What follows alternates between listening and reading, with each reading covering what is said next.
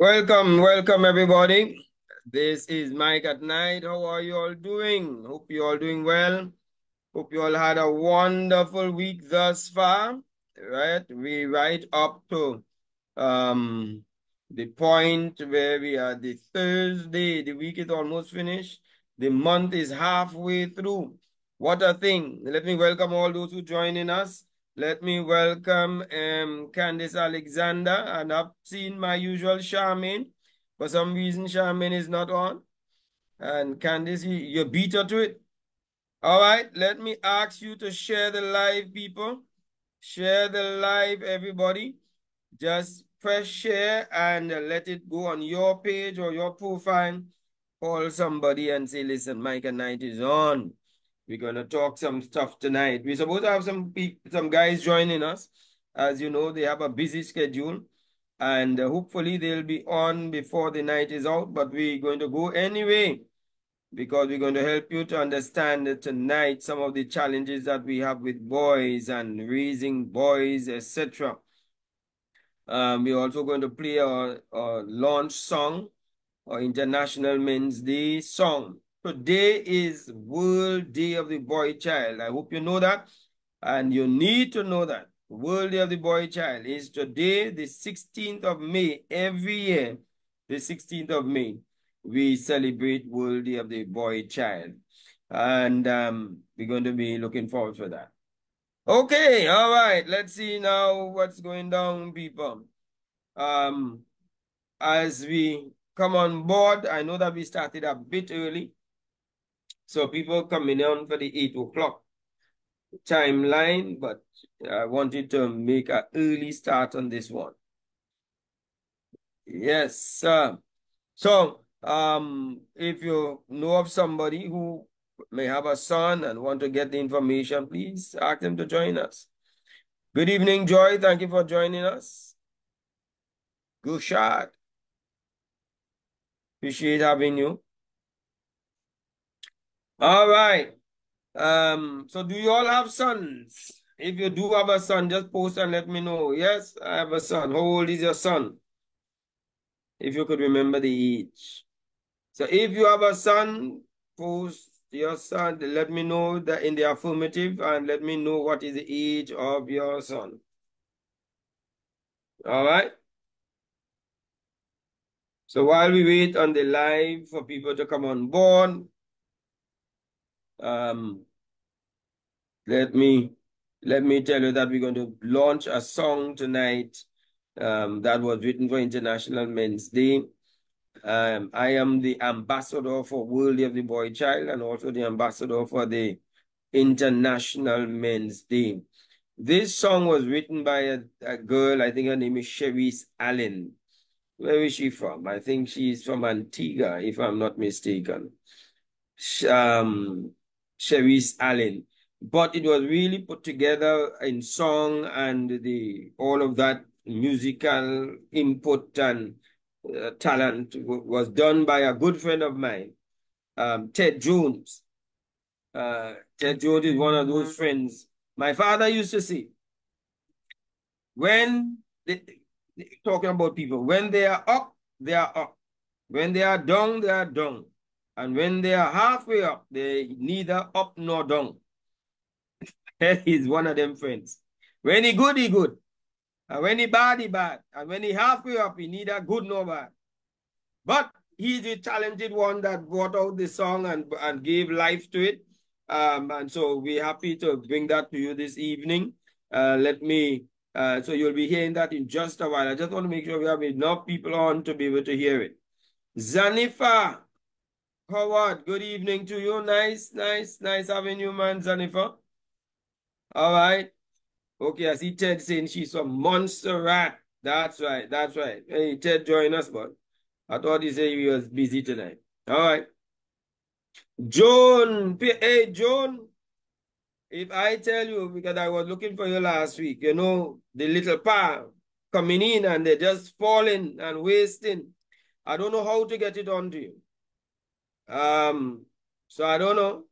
We might have to work out something. All right, Joy says she has a son. He is 32 years. He will be 33 this month. Okay, Joy. Good, good. We're asking if you have a son, just post the son and let us know how old the son is.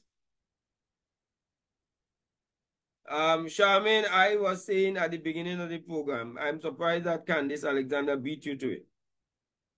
You're coming real late today, but we did start a bit early. I wanted to get a head start. Candice has a son, 26 years old. Okay, wonderful. All right, nicely. So, in a while, we're going to start the song. Um, I'm joined by my co-host, Rondell Fields. He's on. Uh, so we will chat with him in just a while. Um, we, we're going to go to him and um, chat when, when the time, when we go across there. Okay. I think what we could do is go to this song. We have enough people on. All right. Okay, Ted. Th thank you very much.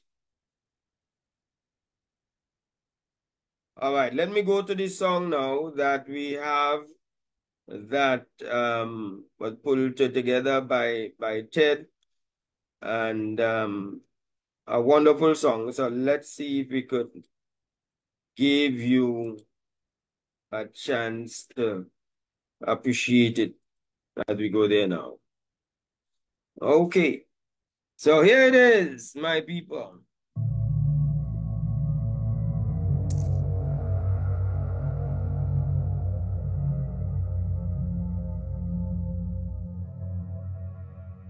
Mikey. Baby. This is another bill. I know. Mikey, another bill that you haven't paid. Baby, I have it under control. Mikey, you always have stuff under control. Baby, let me go in. No, no, no, no, no. I should have listened to people when they tell me, know, like, God forget where you live. Because I'm fed up. I'm fed up. I'm fed up. I'm fed up of this. You only have me feeling like I'm a mouse in house. Right, you, right, you, right, you. People outside laughing me, girl. 15 years we together, and it's only rah, rah, rah, rah, rah, rah, rah, rah. They need to learn me. To learn me.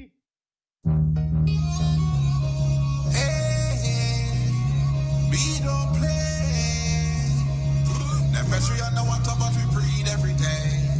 Your Honor, them indict we for standing up against the harmful stereotypes that have been perpetrated against the men.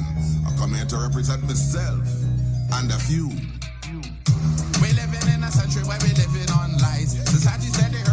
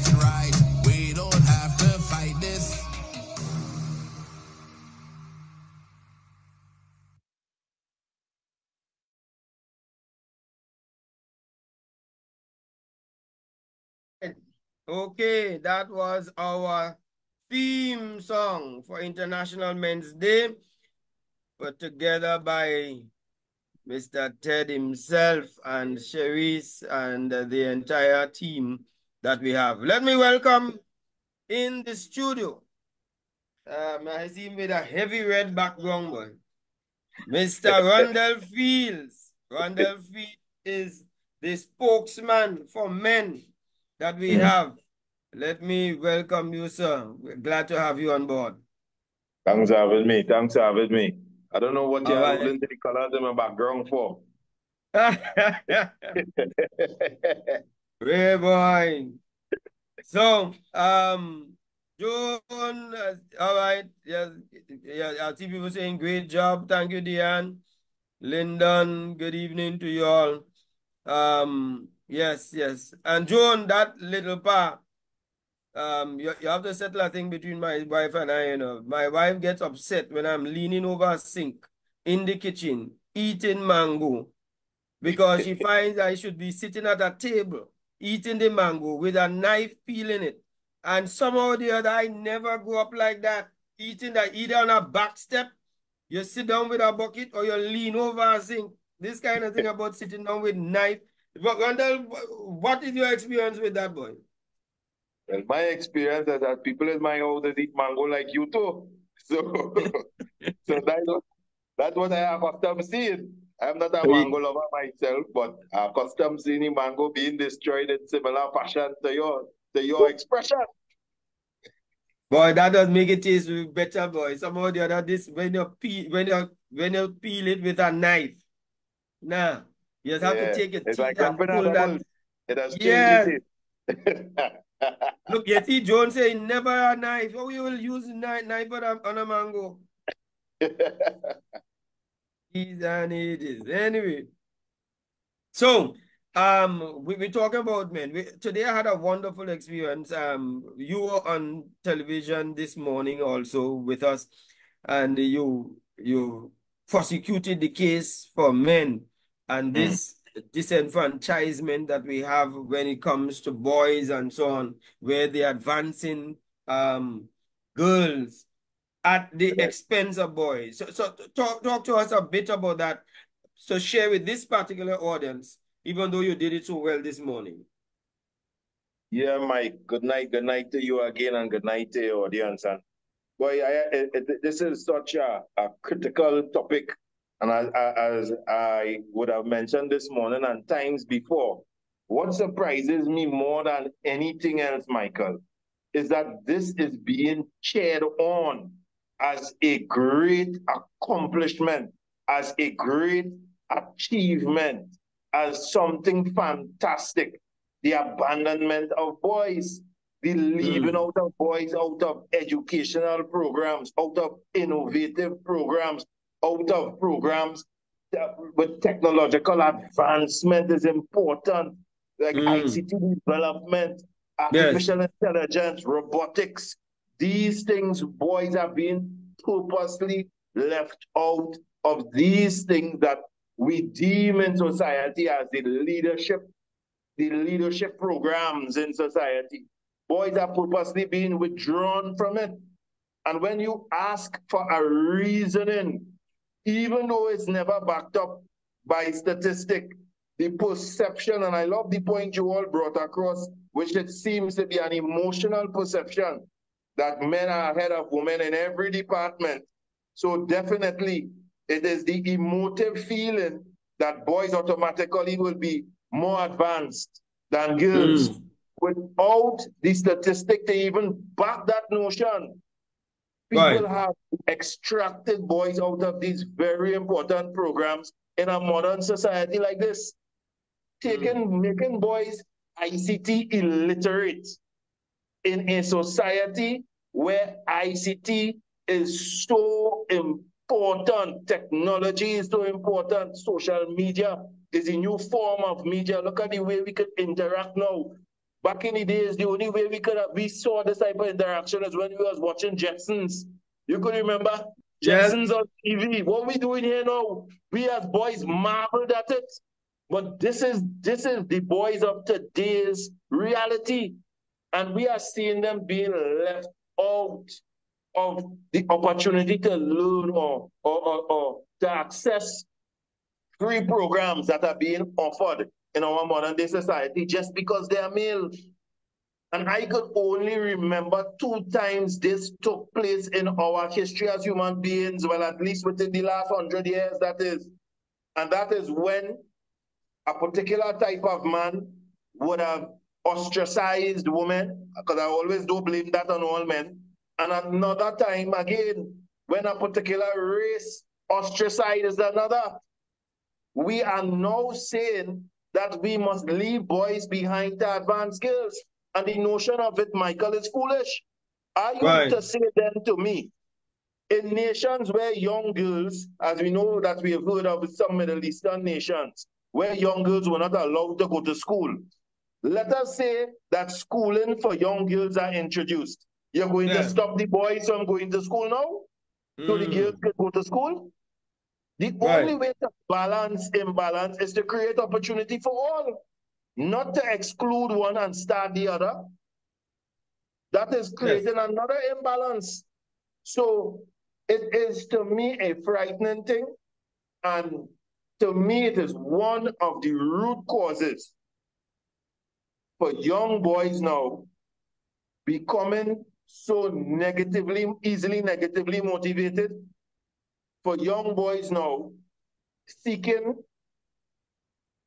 or finding interest into negatively influential things in our society today, whether it be the music, whether it be sitting down on the block, whether it be the, the lack of motivation to go between be, behind academic achievement, whether it be the lack of motivation to even look for employment, whether it be the lack of motivation to learn a skill whether mm. it be hmm. lack, it is because we in society are unconcerned of getting boys seriously involved into the, the, the, the, the programs and into innovative um, programs, educational programs that will truly help them have the right mindset for leadership. It is, it is illegal right now for a boy to want to be a leader in society, apparently.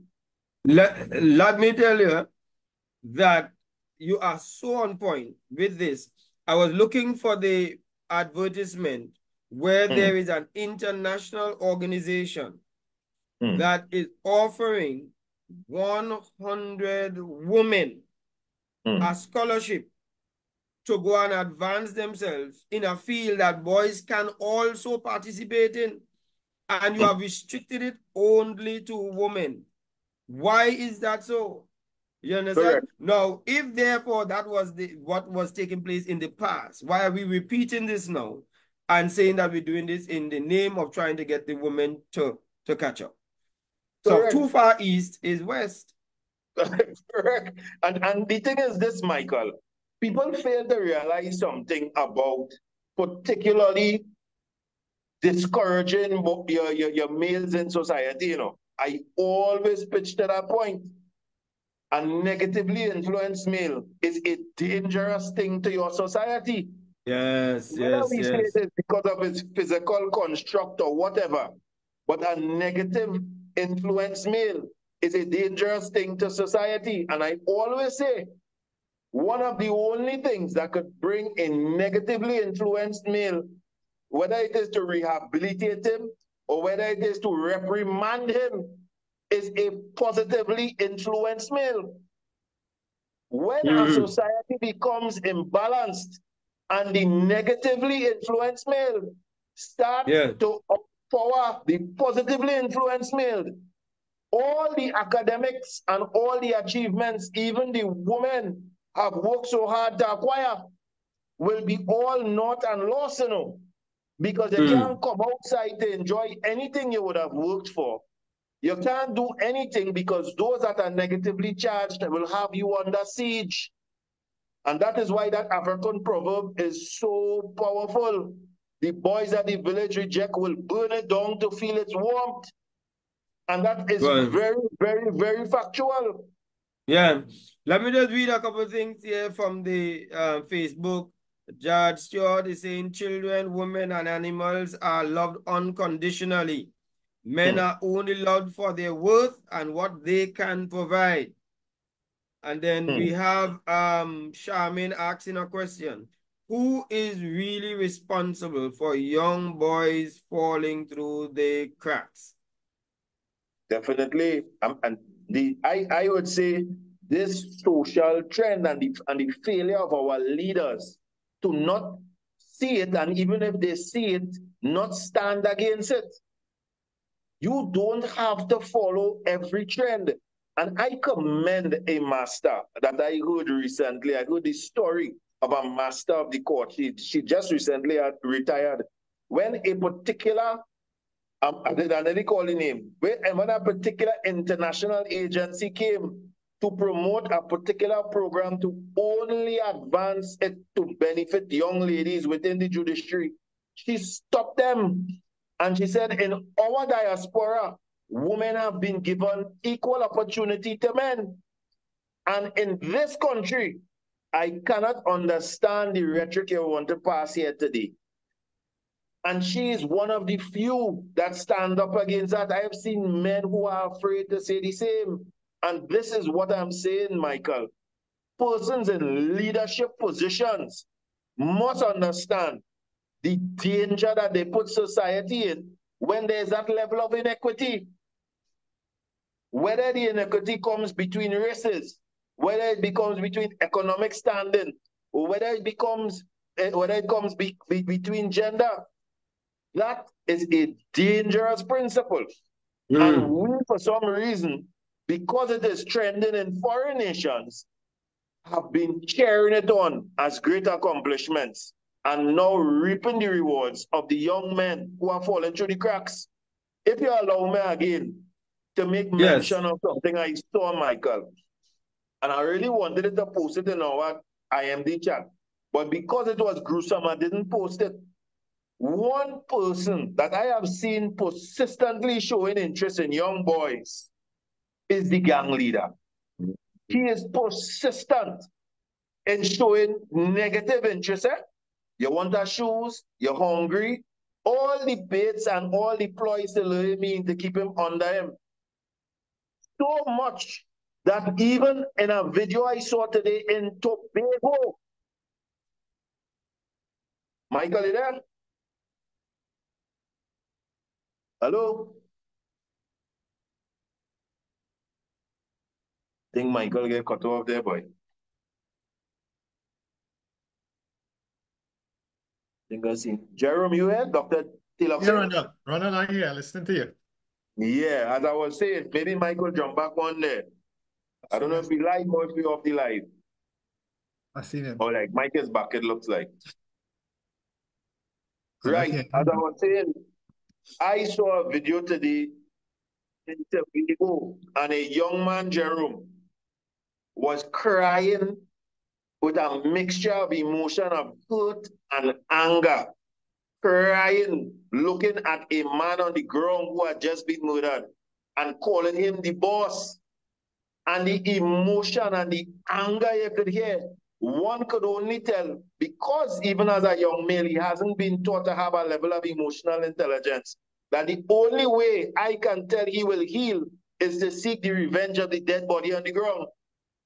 And he may well know that that man may have led him to do things that could cause his life to come to an end soon, I ask myself, what does that man do for him so much that he has that deep-seated love for that gang leader?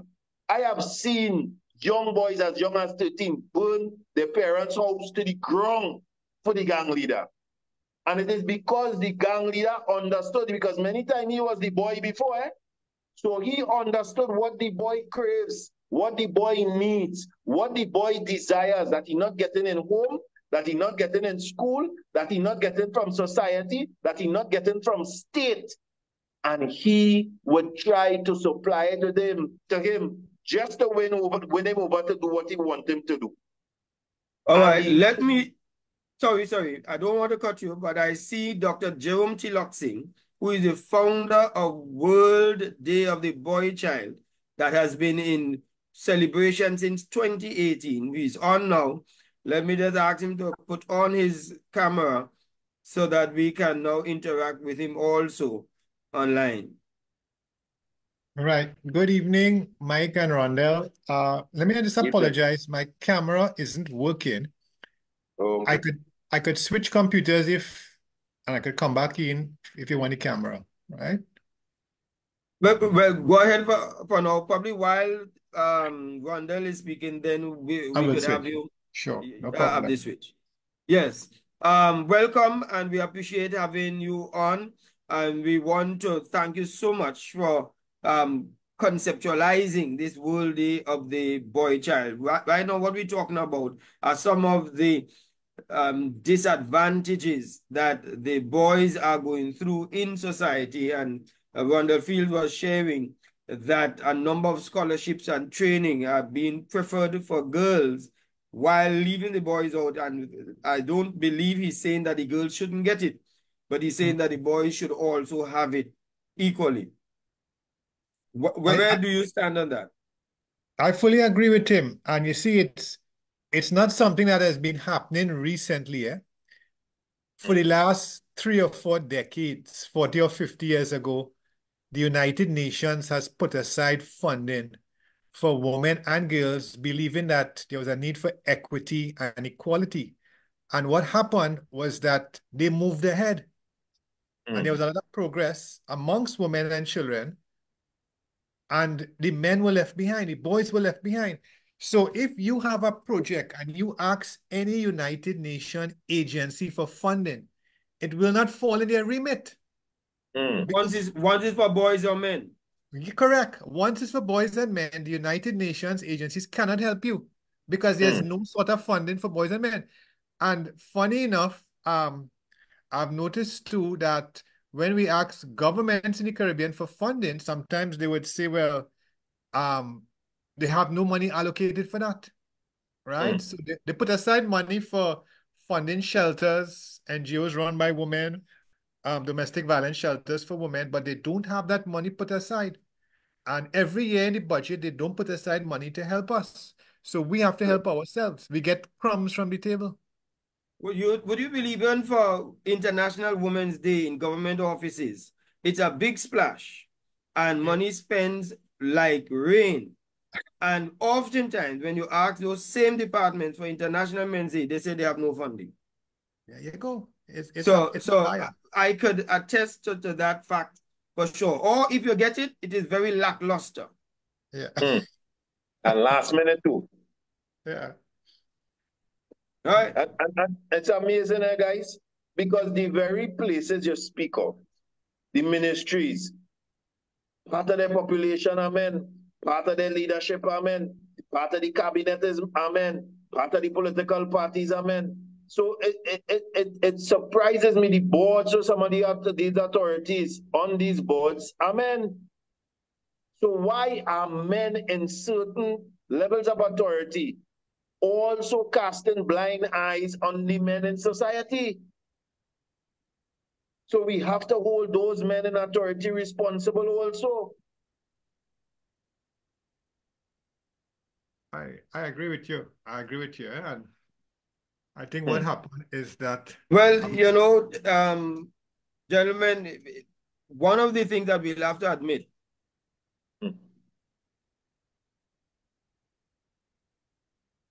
Mike? Mike seems to be going again there, Jerome. Yeah, I think he, he might have switched off his microphone there. All right. Uh, are you all there now? Yes, yeah. yes, we hear hearing you. One of the things that you talk about that men are sitting on these boards and, and so on and not pushing it. We have found that there, and it is it is evident that a mm. number of men in the presence of women are afraid to stand up on a point that defends men. So they're almost afraid to come up against the the, the, the eye of a woman or woman in particular. So they pander to to saying the kind of um, conversations and and narrative that would fall in their favor. Um, and so until we have the kind of men that can be able to say, listen, this is just fair and equitable for men, instead of having to pander in then, then we're going to continue to have this. Correct, Mike. And and the thing is, is this. If there are people of that nature there, whether male or female, there shouldn't be. Right. Um, I see um somebody asking whether there is any Lyndon Joefield is asking, is there any domestic violence shelters for men? So before we, we go to that, let me say eh, there are certain terms that we use that's supposed to be generic terms that are really specific. Domestic violence, when you go out to do a domestic violence workshop, it is always generally violence against women. When you talk about gender-based violence, one would think it is or violence among between the genders, but it is usually violence against the female gender and not generally violence in general. So that's also an, another thing. But he's asking whether there's any here. Randall, are you aware whether there's any domestic violence shelter for men? No, far from. Nothing pertaining to domestic violence. As I said, it's not it's not we, we don't we don't anticipate domestic violence to be anything related to male other than the man being the perpetrator. We haven't gotten to that position as yet. I mean, even if you look at the the, the advertisements coming from the TTPS, from the the the gender-based violence unit, you will see the man as the perpetrator. Even when they're talking about elderly abuse, the man is the perpetrator. When many cases of elderly abuse, many women are perpetrators to their, to their mothers and fathers in the home. But when you see the depiction of those things in even our advertisements on television, it tells one story. When you're talking about come to the gender-based violence unit, there's an advertisement of the child inside and daddy have a big fist like this and mommy in a, in a, in a, in a corner cowering. So men, even when they face these challenges, they won't look for the gender-based violence unit because it hasn't depicted or hasn't told them that there's a place there for them. So, mm. so psychologically, we are saying that we are telling people that there is no space for abusement that domestic violence, men are not victims of domestic violence of any form nature, intimate partner violence of any form, fashion, or nature. We program did, boys and things so. Did you notice recently, just this week in the news in Trinidad and Tobago, we are all aware that if a woman reports a man abusing a woman, the police is going to show up at the door and evict him out of the house almost without any question, right? right? We had a recent case where a passerby, a pedestrian or, or, or a, civilian saw a woman uh, choking a child and abusing the child and he recorded it. And the police said they have not done any arrest because nobody was willing to come forward, even though they have the video. Nobody was willing to come forward as a witness. Michael so who was the witness when, when the woman called and said a man was beating me? Where was the witness? Correct. You see? And that is inequity. And when you ask yourself, why is there such a high suicidal rate of men? Probably the men are giving up because they can't get justice in this in the judicial system. They're not getting governmental backing. In the home, they're not getting any backing. So where do they go? And I will add to that. That is why murder suicides increase also. Because that feeling of lack of justice that have driven you to a point to take your own life. Some men wishing to make justice in, in error, we would say, but still trying to find their own justice within themselves, sometimes make the mistake of taking other lives with them. Because mm. if you've got the strength to take your own life, I can guarantee you there's nothing that would hold your hands from taking anybody else's. So I would add to that. So that is why any state must be concerned when they see the suicide rate high of a particular member of the society. This is all you have walk into places and schools, pick up firearms, kill everybody and kill themselves after. Mm. Um, Doc, Mike, that scenario you you pinpointed there, there was a mm. case at the before the gender-based violence unit where a young lady, what I, I highlighted it, we got custody for the father. The man and the woman were separated. The young boy went with the father for a, a, a, a beach house vacation for a weekend with his new lover. The woman left the man and went with another lover. She wanted to find out who the man's new lover was, the mother of the child. Video chat with the father, choking the son and slapping him consistently. That is something we highlighted. It went viral. So much. I remember took, that. We took the video evidence to court and got the father custody. The gender-based violence unit up till today, nearly a year and a half, is telling me they're still doing investigation. Same thing, what you are saying. They have nobody to come witness. When I give you the video evidence of the woman abusing the child, video footage, so much that the court could have used that to make an emergency order. They can't charge with that. Right. Let me give you another one, and I want the doctor to come in on this. That I've known of men who have been put out, as we said, because of claims of abuse, even though there's no evidence of it, but claims of it. And it's put out. I know of a particular case where a gentleman in the house he has been abused by the woman who was in the house. He went to the police and asked, I would like the woman out of my house. I have gone through too much of it. You know what the police said? They cannot move her. He has to give her three months to find a place to live because it mm. is only fair that she, she finds a place. He has to give her three months more of to stay in the situation of abuse. But if a man is going through the, if a man is claimed to be abusing a woman, he has to leave immediately. So where is he going? You see? That's inequity. Doc, weigh in on us, answer, please. Well, Mike, what you just said there doesn't doesn't sound strange. And let me tell you something. Sometimes men don't want to commit suicide. They don't want to commit the murders, and they end up as vagrants, homeless persons on the street. They get a nervous breakdown.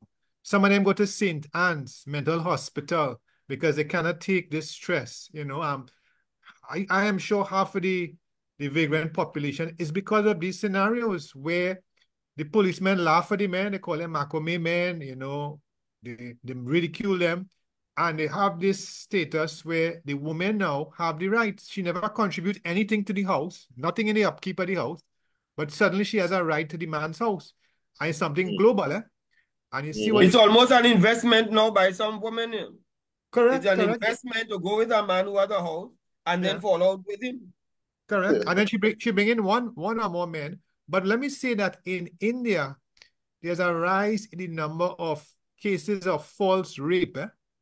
So women right. are also making that claim, and the judges and the court system sides with the woman immediately. Mm, yeah. So I, I don't know.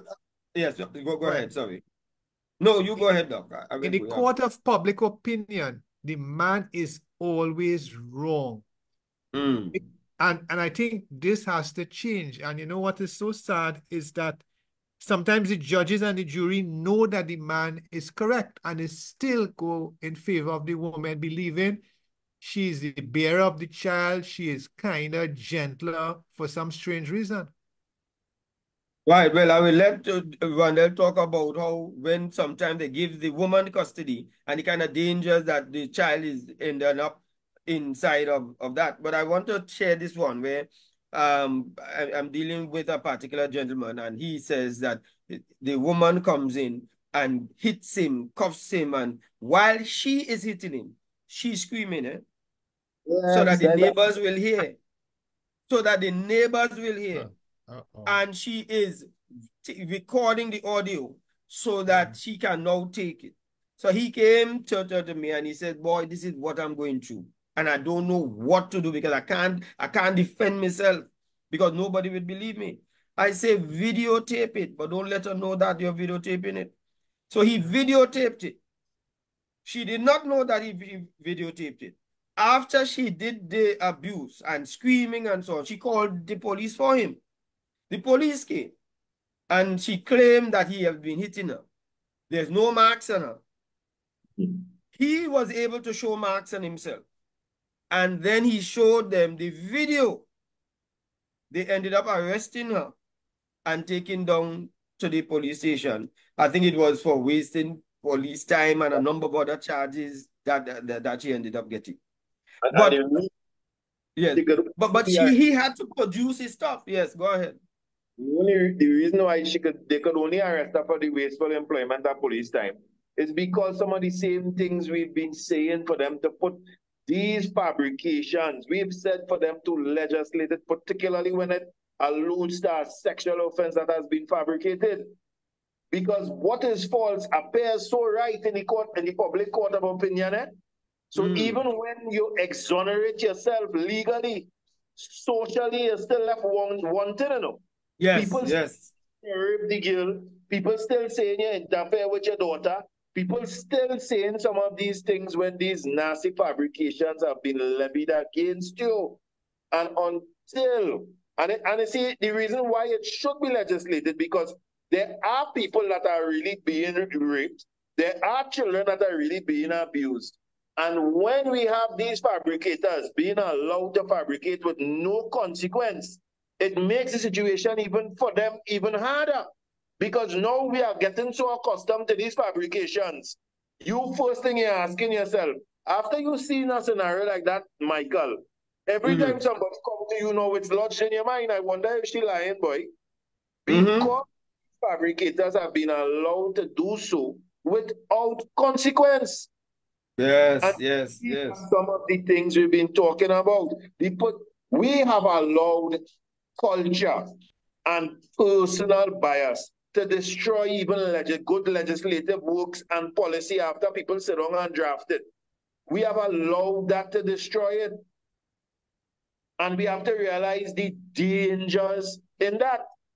Even when it comes to the, the, look at when we talk about public assistance, where, where there was always the opportunity for males to get public assistance on behalf of their children when they're in a needy position.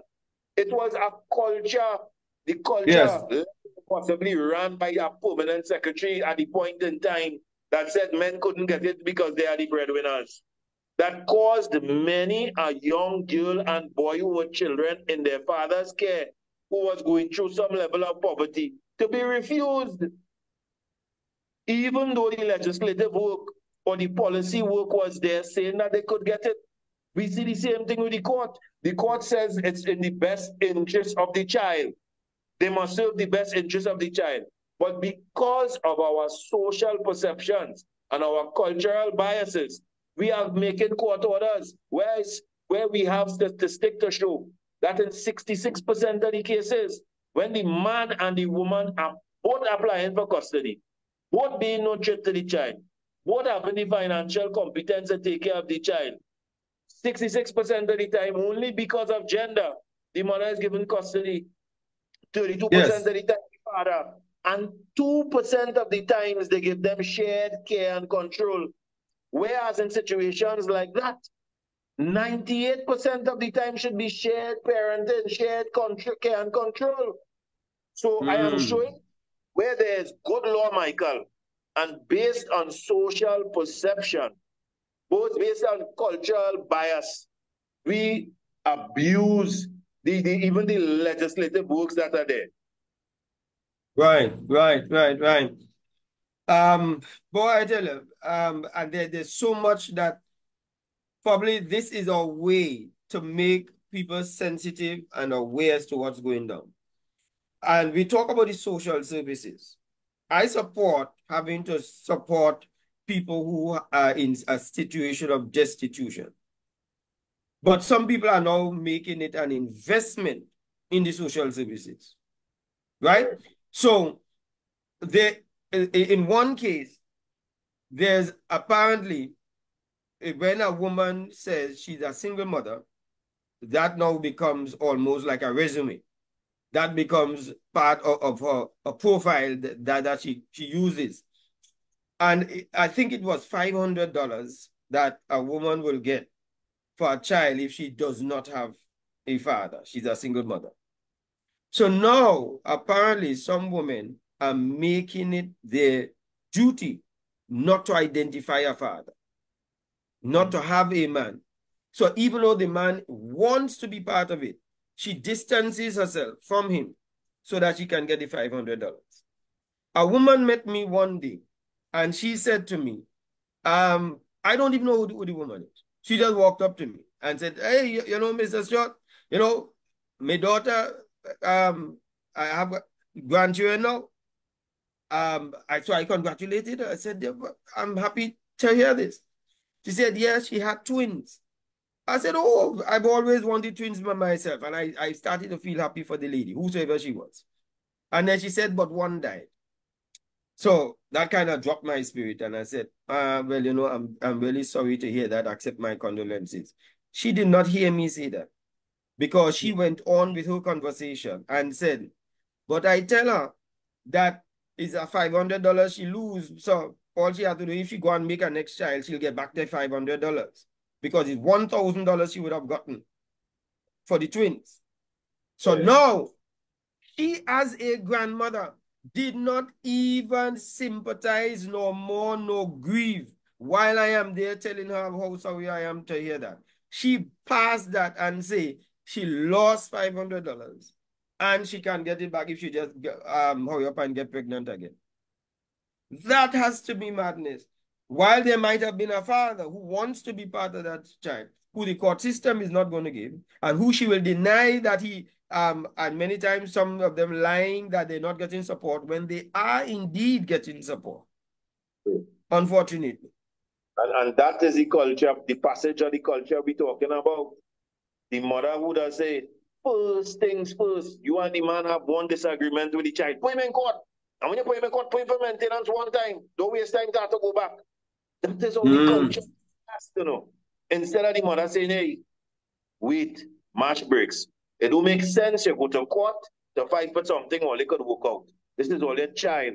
Try to be amicable. Try to this. That court is not the right way. But the automatic response is put him in court. And that is because the court has done poorly and given a bad public perception that if a mother comes to court, she will win automatically. If the mother stood the chance to lose, or mother nor father, yes. yes. true interest of the child would have been sought, you would have seen a lot less people going before the court and a lot yes. more parents co-parenting and working things out amicably. But they see the court as a trump card. Get a vex now, let me go and put you up for maintenance.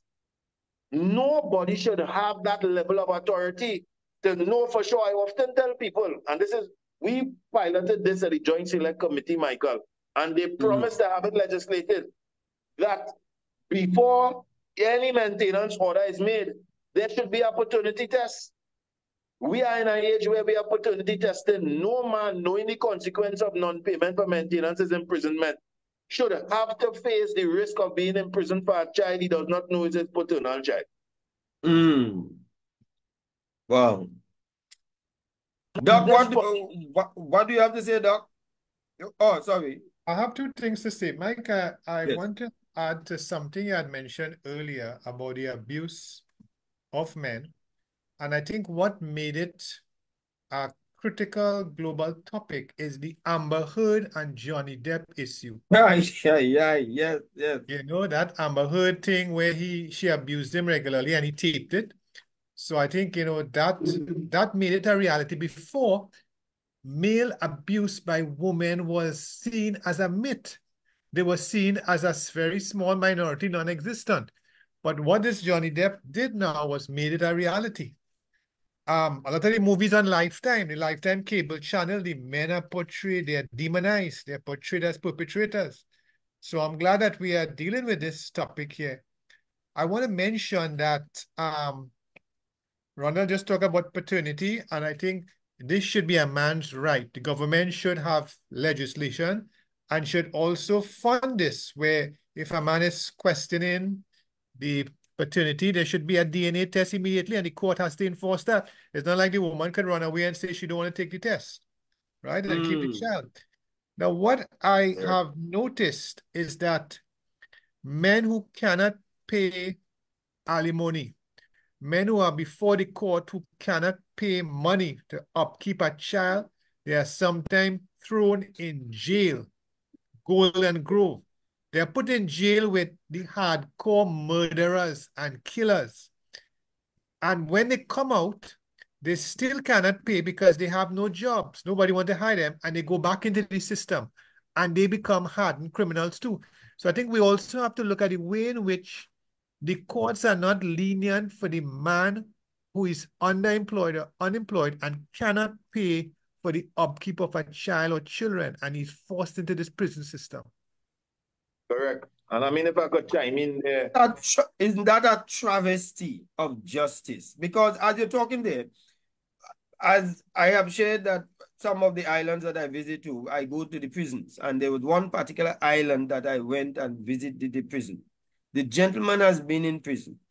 And it's not the first time I've been meeting with him and chatting with him and, and working along with him. But here's what he said. He gave me the date he was supposed to be coming out of prison. The hmm. date was approaching, and he was told that he cannot come out of the prison because even though he paid off the the the money that he was supposed to be paying, while he was in prison, he accumulated.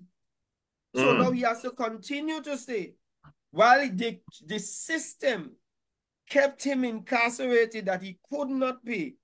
And now that his family paid it off, he cannot come out because he, he accumulated some money. But the family no, has no more money. And I'm saying, mm. couldn't you have, this is not a criminal. Couldn't mm. they use these gentlemen to do work along the, um, whatever work that government has?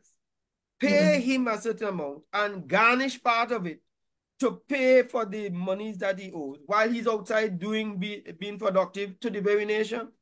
And, and here is Mike. Here is Mike. That is something that used to occur in Trinidad and Tobago before. But, and maybe it exists even in that other Caribbean nation, examination of Section 27 of the Family Court Law will let you know that, in, at least in Trinidad, that if you are crew maintenance while you are in prison, the state is to be held culpable eh? because it is illegal to do.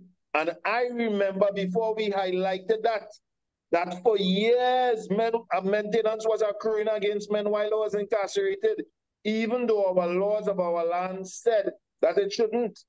In our laws of our same family law act section 27.5 says that the magistrate has the power to see and perceive if a man has not willingly been negligent.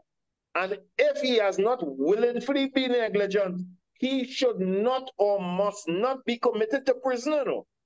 So the magistrate still has power, even if you bring him before her and say, hey, we taking him to jail. They say, because of what has happened to him, the law has given me power to section 27.5 that he not be imprisoned, you know. And okay, I, well, I, I, was, I wasn't aware of that. Listen, Michael, I have seen them use it in instances when fathers have brought mothers to the docks. And the mother, this particular mother, they said because she was a mother and she had children from another relationship, that it didn't make sense to have her imprisoned. And she was owing the man nearly $90,000. And here the nice part, that man was owed $90,000 by her, but he had another child that he was owing $10,000 for. This is a true story, eh? Mm. And that same judge he came before sent him to prison we had to have a barbecue. The man was a police. His name is Corey Francis.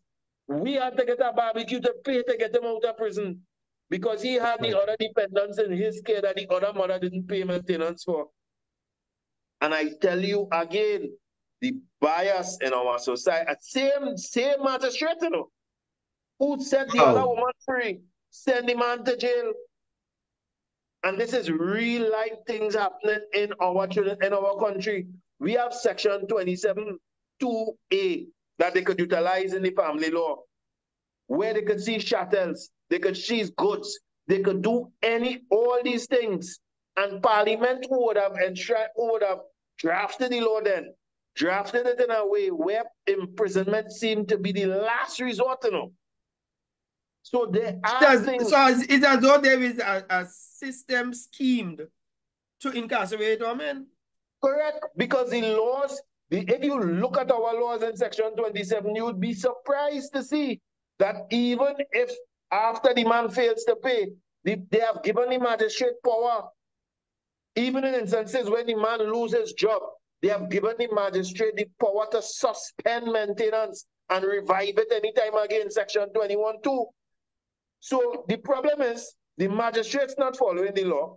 The lawyers, sometimes these men go and get, if they can afford a lawyer, don't know the laws to bring before the magistrate. So the easiest thing is what they keep doing. Section 27 2B and Section 27 3. Send him to prison. There was one and, that you did, um, Randall, where the gentleman was had got a heart condition, he was diabetic, right. and so he could not work because he, he just Mohammed. was not able to. Yeah?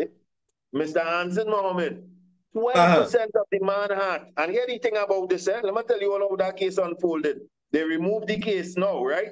Well, they, well, they, just, just explain it to them first before you go into the case. Right, okay. What had happened? Condition? He was, well, he, he has total kidney failure. He's on dialysis okay. and lives on 12% of his heart.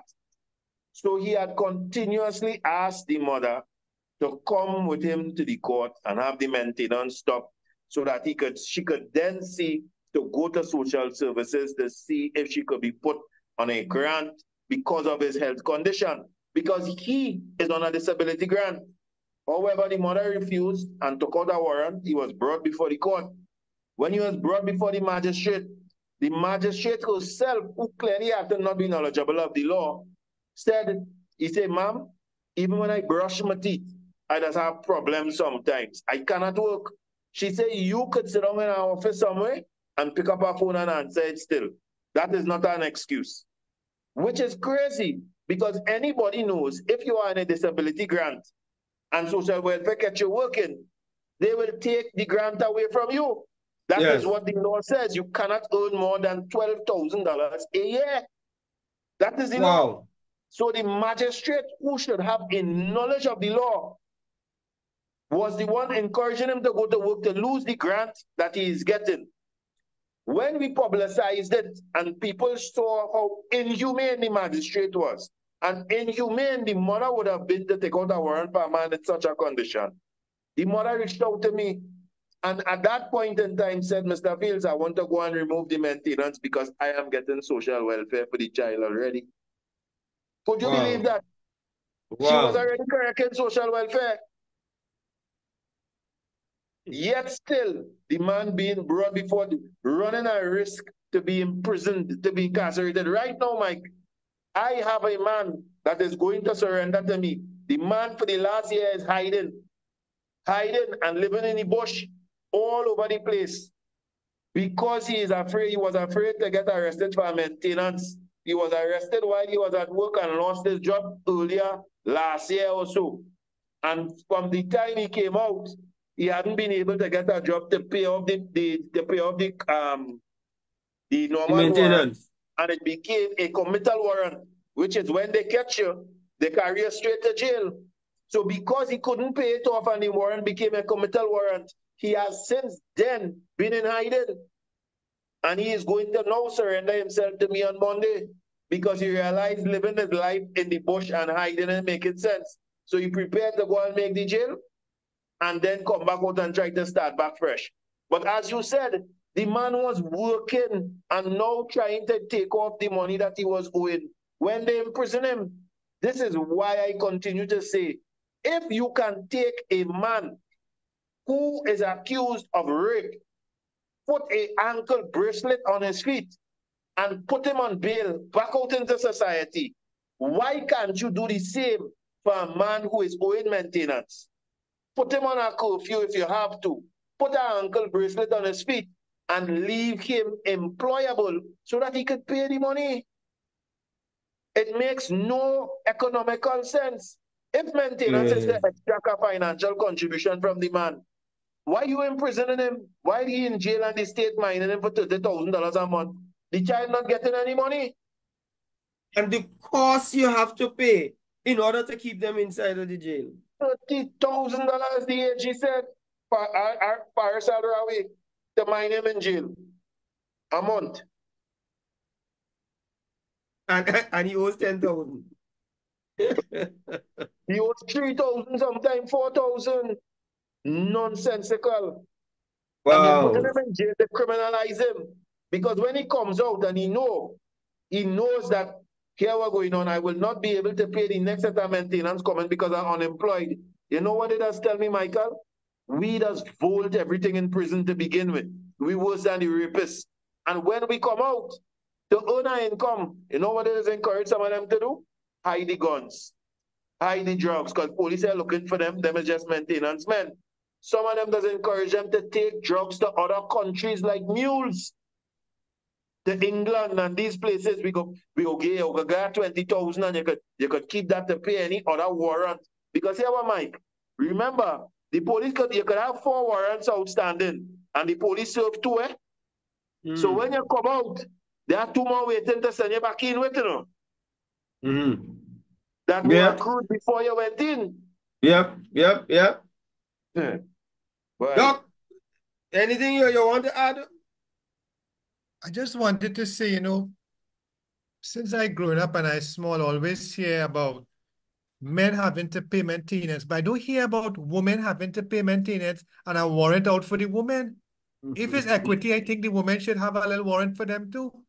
They, they there's had the warrants, doc. They just don't arrest them. I am they can't they, they can't locate them, they cannot find them. When and Mike, when they find them, I tell you, just bring them in the docks and right. they don't send them to prison. Very, very rare. Yeah, yeah. But you see, let me tell you, and it comes back to the boy child. Once hmm. a father is absent from the home, his father is in jail, the father hmm. is out working three jobs, two jobs to try to pay maintenance. He's not there. The boy doesn't have a role model and he turns to the gang leader. Correct. Mm. Correct. And he cannot turn to his big brother because his big brother already have one foot in the gang. Correct. So I think, you see, everything is connected. This child maintenance is connected to the absent father and it leads to the boy growing up wayward and growing up to be a social problem. Correct. And we're not, we're not connecting the dots, you know. We believe that a problem child, a, a problem boy child, a boy child will grow up to be a thief or a bandit, a murderer, we believe he grew up in a vacuum, but it's all connected. Correct. And and and, and another dangerous thing is psych, the psychological infiltration of the young boy mind too, you know. Yeah. Don't come out like your father, you know. Your father mm. never mind you. Look, your father never care about you. Look, your father running home one day, he wouldn't bring nothing for you. And sometimes it's, it's the furthest thing from the truth. Look, your father can't even pay maintenance. I will make him get locked up for spite. And yes, the young yes. boy grows hating manhood, you know. He grows hating the, the, the, the projection of what his father is. And he only wants to be everything beside the father. So he go tell himself, I want to earn before I turn a man. I want to bring in a dollar. I could do anything. So when the gangman gave a gun, or the gangman tell him, watch the block to start at 12 years old. Guys, what does that man? Give a walkie-talkie and tell him when the police coming and he come and he hit him a little 200 for that. And he said, boy, I could go and buy something for mommy and get she daddy. Don't get she not my father either ways. I had to look out and watch my mother back. And then he come later down the road, 13, 14, the gun, the, the gangman gave him the gun and say, go and take that man, go and rob that man, or go and bring that fella for me. And he start to get comfortable and it start to be his source of income and he start to get street cred. And they gave him a nickname called Monster. And he become the monster they call him. The next thing he going to do is gun down a man. Mm. And by the time he turned 20, the last gang leader dead, and he's the new boss. The new bosses, when we go in them crime ridden communities, brothers, I will tell you, it's youth man, eh?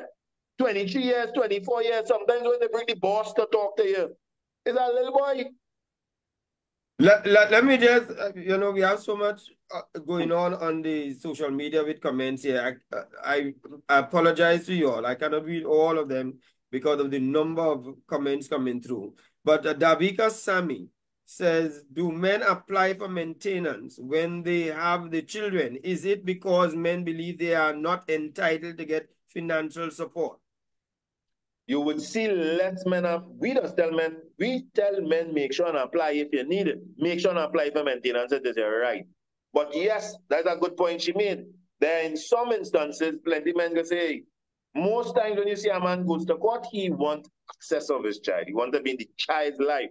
90% of the times you would see the mothers going to court, they want maintenance from the man. 90% of the times. But in every instance, I would see that a particular magistrate that adjudicated that was was fair in Tobago. You understand? He's now in in, in, in Trinidad. I wonder I can't call his name. But I've seen in instances where he is accustomed to levying great amounts of maintenance upon men, upon men. In a particular case, he gave the man pittance. You understand? And say, well, boy, you got to work up to make it work, X, Y, Z. The woman thing, if it was a man, this is what he told him. He said, if it was a man, I could have tell she get a next job. You understand? So he had to take what he get. So as I said, the cultural bias exists. But the law still stipulates that if any custodial parent applies a maintenance, they are to receive some type of maintenance. But you find that the, the woman, the maintenance orders are, are, are lower when they don't pay. And if people investigate, and I want us to do a study of that, Michael, I wish we get the funding of maintenance generally. I Where we getting the funding from, boy? I don't know. That, well, I asked the IGDS and they tell me pay for it. You understand? So am I working on that just now? Eh? Because my strong belief is, Michael, when we do that study, we will realize that women who have to pay maintenance are worse at paying maintenance than men. I, Ronald Phil I am going to see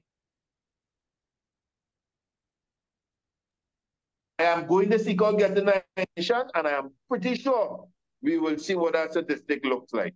Women who have yeah. pay maintenance. Um, a man had um there was a story in the newspaper some time ago.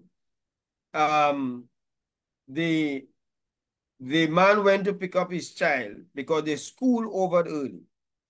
And so he went, he had to leave work to go and pick up the child, but he's not finished working. So brought back the child to the workplace. And the management told him he cannot bring the child to the work. But yet it is every day women leaving and pick up their children in school and bring back to the workplace. Mm. Now that he has done the same thing, they said he cannot do it. Mm. Those are the kind of inequities and on the, the, when we're talking about equality and all of that and so on, where where is it? Yeah. And so I wanted to know uh, whether that establishment did not recant on their position that yeah, they had Michael, originally. Michael, yes. the statistics of men committing suicide, they just released it again, Ministry of Health. 84% four out of every five, they say. So it means for them to say 84 is a little oomph over the four every out of every five. A meal. In the last three weeks, Michael, we had five men kill themselves. Yeah. I have videos yes, yes. of some of them. And long and short yes. of the story, I am saying if women were killing themselves in record numbers like this, the United Nations would have flying with funding or some kind of thing. It would have been a big woman's agenda it would have had billboards.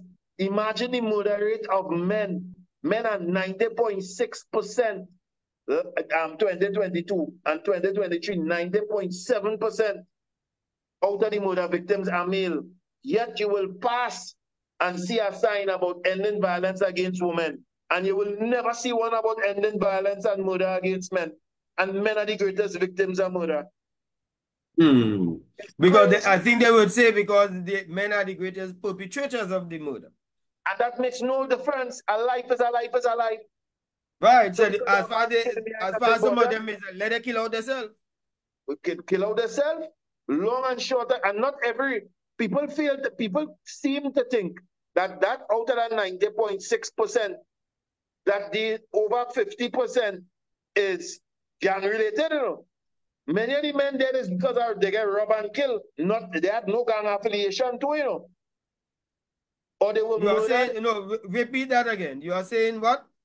I am saying that when you look at the statistics, though the majority are murdered by gangs, what I am saying, a great percentile, between 30 to about 40% are not gang-related offenders, you know. Had no, okay. the, the murders had nothing to do with, with the gang relation. So 40% is still great. Right, because some of those home invasions where a 70-year-old man is killed and of all course. kind of thing. What gang is he in? Of course, the, the male perpetrator is less compassionate to the male victim, you know. When he enters the home, he may spare the woman and children, but he will down the man. The yeah. first person he apprehends and restrains are the males, you know, because they see the males as opposition. Look at that policeman who died, he's no gangman. The policeman who just get killed in the bar, he's not right, a gang. Right. But the first persons, the, the first persons a male perpetrator will see as a threat to him is a male he's coming to do something too. So many men are killing that way too. So it's not only gang-related murders of males. Wow. Boy, mm. we have plenty work to do. Plenty, plenty work to do. I'm hoping that we're going to have more of this type of program. If probably Absolutely. at least once a month we could start ventilating some of these things um, and make people be aware of what it is. Because a lot of times, many people not aware that they have a brother, they have a son, they have a cousin, somebody who, while we we making out men to be such villains, that person may be related to one of you. And when we leave this unchecked, and then years down the road, your son is in danger. Yeah. So, um, thank you all very much. I think we've come to the end. So let me just give um Doc, let me give you a final word and then I'll give Randall Fields a final word as we close off. Right. I just wanted to say that I'm glad that we're having this discussion because a lot of the the men who suffer from trauma, it's because it was unresolved when they were boys, when they were teenagers. They were neglected, marginalized, they were abused, victimized, stereotyped whilst they were boys, and they entered manhood with all these crosses to bear, all these burdens. You know, it's no fault of your own societal expectations, distortions. And I also want to say that what we also need to explore in future episodes, future shows, is the way in which the North American media, North American ideology has been influencing boys and teenagers. You all might know that right now boys are confused sexually in America some of them identifying as a cat or a dog or pig. Mm. And True. we need to look True. at that too. The way True. in which we have um, no longer two genders and the, the Caribbean boys are becoming confused. So I think that has to be a well ventilated and well discussed and it should be a bit controversial too. True. I like that kind of controversy. Worthy controversy. Well, well, you know the developmental age of when a boy hits adolescence. It, it according to Erikson, the Russian um, right. psychosocial, uh, as we were taught, when you reach a certain age of adolescence, is where identity versus confusion takes place. If you mm. can't find who you are, mm. confusion follows, and so therefore now we have. I am I am currently um doing counseling with people who are homosexual, lesbians, and so on. And some of them are actually telling me that they, they are actually confused mm-hmm. and beginning to question whether this is what they really want. But mm-hmm. one, of, one of the things, you know, one of them admitted, they felt that they got caught up with the fact that you're hearing so much about it and you're seeing it, so you think it is the in thing.